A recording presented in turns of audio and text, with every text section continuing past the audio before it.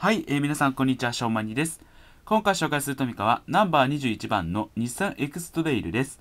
スケールは63分の1でアクションはサスペンションのみとなっております。でちなみに2014年の新車ですね。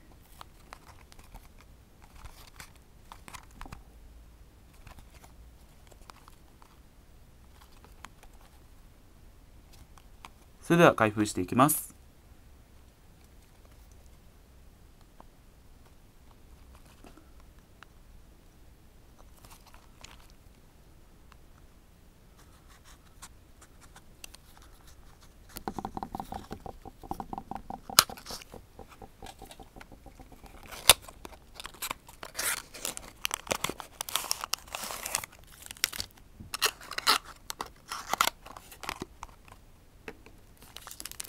なんか紙が入ってました。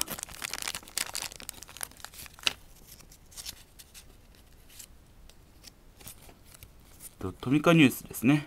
トミカニュースと、こちらの紙が入ってました。時間短縮のため省略させていただきます。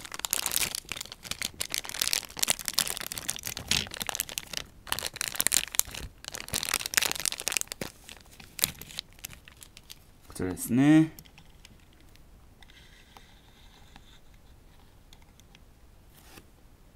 で、前はこんな感じになっております。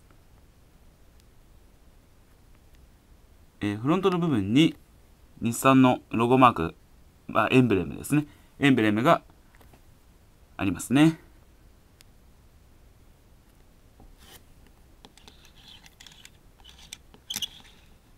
で、後ろはこんな感じです。こちらにも日産のエンブレムが書いてあります。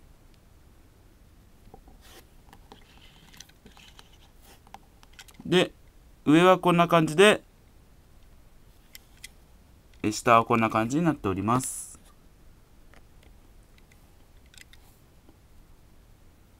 面倒いベトナムベトナム製になります。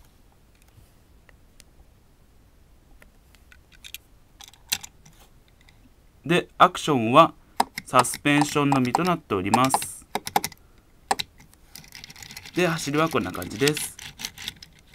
以上で紹介を終わります。ご視聴ありがとうございました。それでは失礼します。